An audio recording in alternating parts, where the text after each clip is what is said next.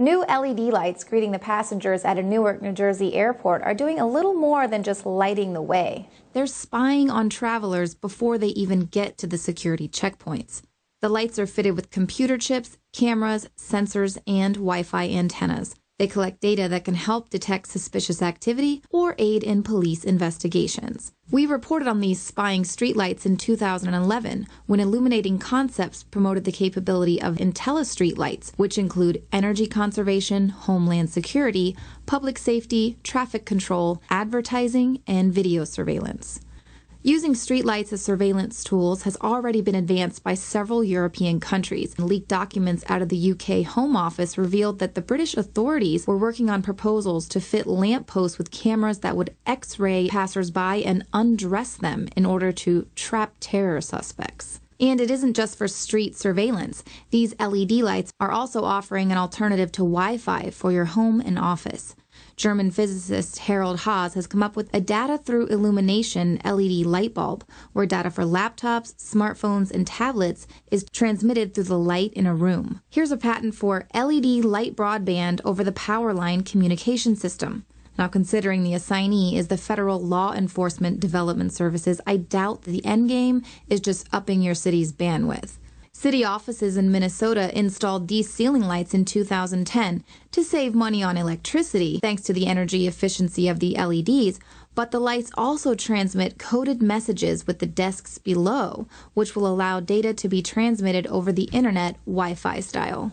Now, while the Fourth Amendment affirms the right of the people to be secure in their homes against unlawful searches and seizures, people might be unwittingly bringing these spy devices right into their homes under the guise of efficiency. Seemingly innocuous electrical appliances such as rice cookers and refrigerators are now being manufactured with Google's Android operating system and an internet connection. Of course, the suggestion is that these technological leaps are a good thing, but Google long ago announced its plans to direct targeted advertising through technological devices by using the ambient background noise of a person's environment to spy on their activities. The search engine giant filed a petition for advertising based on environmental conditions and describes using temperature, humidity, light, and air composition to produce targeted adverts. Google recently purchased smart thermostat maker Nest for more than $3 billion. Nest takes over the heating and cooling system of a person's home to direct energy consumption. Well, now the thermostats will be enhanced by Google to connect with the web. Google has made no secret about literally wanting to control your home, so now they're just making sure all of your appliances are equipped with this surveillance technology when they're ready to launch. Everything from Xbox to Verizon TV boxes have this technology that enables industries to peer right into your home and analyze your actions, conversations, and relationships. The terms of service for Xbox Live warn that a user should not expect any level of privacy concerning use of the live communication features, and to the maximum extent permitted by law, they may monitor your communications and disclose information about you. The most disturbing and worrisome Big Brother gossip is not that Xbox maker Microsoft was involved in the NSA Prism scandal or that the console sits listening 24 7 for voice commands. No, the most startling revelation is Kinect's ability to map your shape in high def. The new Xbox One can see your penis. Now, these are just several ways that the government has already tapped into your home, but I haven't even touched on the smartest device that you own. Your phone comes equipped with a microphone, camera, and tracking device that gives the NSA backdoor access to everything you do and who you're doing it with. But no, I'm not talking about your phone. I've just been talking about light bulbs and thermostats. It should be abundantly clear by now that this has nothing to do with energy efficiency and innovation. This is about a well planned, well orchestrated agenda for the complete transformation of America.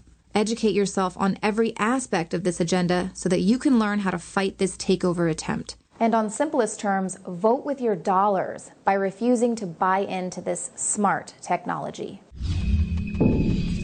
The globalists have controlled the mainstream media for a long time, but now they're expanding, making the weaponization even more vicious and deceptive. All the major networks are state run. We are partnering this year with the NFL. The NFL has become a political weapon against the Second Amendment and pushes Obamacare. MSNBC tells us that our children belong to the state. We have to break through our kind of private idea that kids belong to their parents. Or kids belong to their families and recognize that kids belong to whole communities. The brainwashing media machine has been turned up on high, and it's time for humanity to double down on the true people's media and strike back against the tyrants that are destroying our civilization with their lies and fraud. We are the resistance. You are the resistance. You are the info war. It is more important than ever to realize that we are not the alternative media. We are the true media. The establishment dinosaur press is dying. We are in an information war, and we are losing that war. Join us at InfoWarsNews.com and PrisonPlanet.tv. Members can share their memberships with up to 11 people. By subscribing, you will literally be buying war bonds in the info war to expand our operation in the face of the tyrants. Join us at PrisonPlanet.tv.